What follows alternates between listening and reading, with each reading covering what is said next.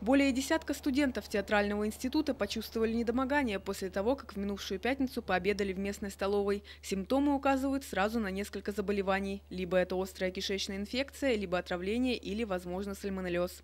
На двери буфета объявление «Не работает до 7 числа». Возможно, это как-то связано с пятничным инцидентом.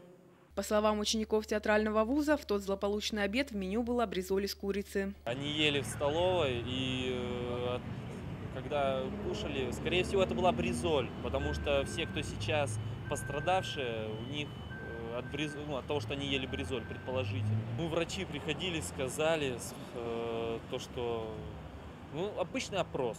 То есть э, было ли вам плохо, жалуетесь ли вы на что-нибудь? Пятерым студентам в воскресенье даже понадобилась скорая помощь. Сейчас они находятся в инфекционной больнице. Их диагноз устанавливается. В наше отделение инфекционной больницы поступило пять человек, четыре юноши, одна девушка.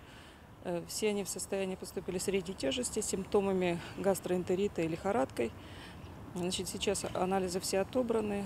Окончательный диагноз будет после установления после анализов. Руководство театрального института от официального комментария отказалось. Ссылаются на отсутствие точных данных о состоянии здоровья студентов. 20 человек заболело, и что? допустим, там, ну, 20, у нас даже ну, меньше. Достаточно такая стандартная ситуация, это в принципе, когда могут заболеть люди с гриппом, да, вот да. как бы бывает, угу.